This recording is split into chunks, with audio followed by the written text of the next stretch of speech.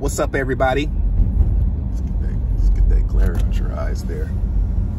Um, so, Hedron. Hey, yo, Hedron. Hey, y'all know uh, Cameron Purple Haze?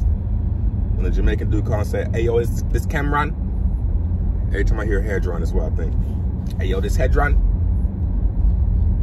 I don't know, man. So, one thing I think a lot of people aren't taking into consideration with this Hedron is the fact that it's very bullish for Hex. Very bullish for Hex. Probably the most bullish thing I've seen for Hex since Richard Heart. this is the, Hedron is the second most bullish thing since Richard Heart, though. Um, so I'm looking at the chart on it. This guy's gonna pull right out in front of me. So I'm looking at the Hedron chart,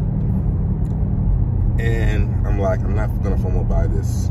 I wish I would have bought more at the bottom. Didn't know about the whole liquidity thing. If I would have knew about the liquidity, man, I would have bought a lot more.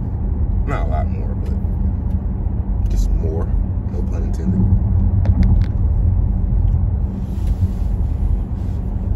Um, so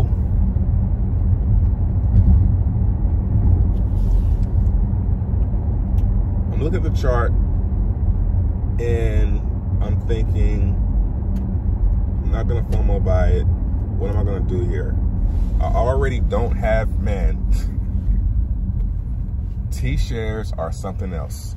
You might be looking at your Hedron airdrop like, man, it ain't even all that. You know why it's not? Because you haven't been staking 555, sir.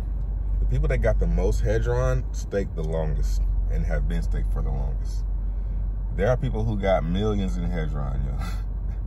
Just for, and it's funny, like, everybody was saying, you know, I'm not gonna be a fool. Only a fool would stake for 555. Only a fool would stake that long. Well, they're looking pretty smart right now, man. Because they're gonna not only do they have that that coinage on supply, like on demand, um, they're earning it for the whole period of the stake. Now, um,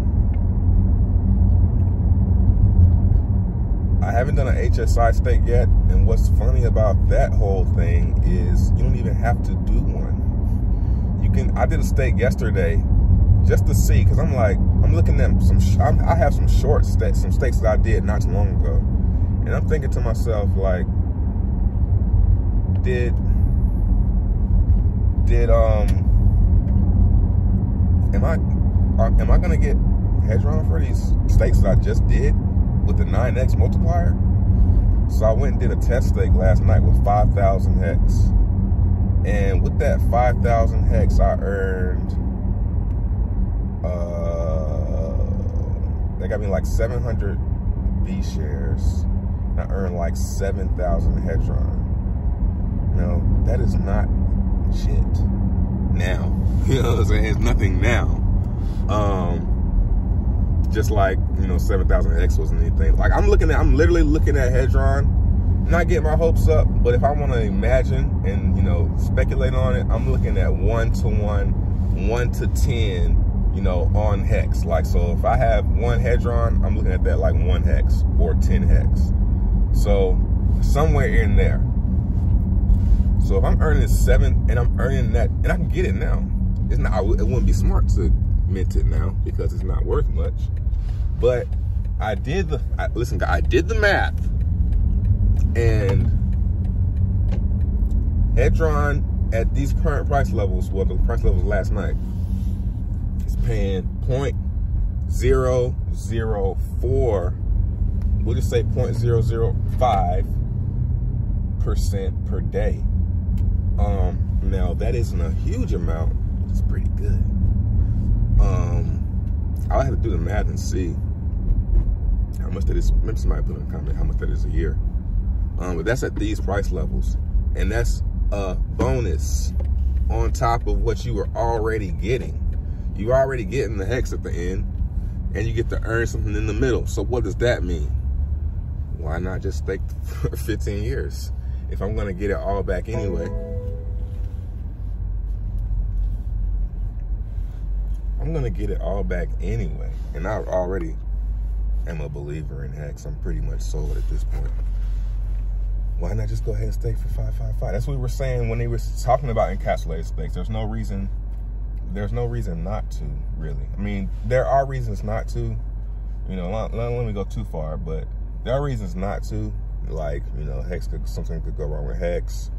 Uh, but the only risk, the only risk that you're really taking, that risk that you were already taking, is kind of getting diluted, for the lack of a better term. You, you get to earn something in the middle now, and the thing that you're earning in the middle is pretty good. Now, if Hedron keeps going up, that 0.004% is going to go up. So if Hedron doubles now from here, it's going to be 0.01% Okay? See where I'm going with this? You see where I'm going with this? So, um, if Hedron continues to pump, it's to make Hex go up a lot because the only way you can get that percentage per day is to buy Hex and stake it. And you might as well do it for a long time because the more t-shares you get, the more Hedron you get, the only way to get t-shares is lock up Hex. It's like, I don't know, man. It's getting kind of scary, man.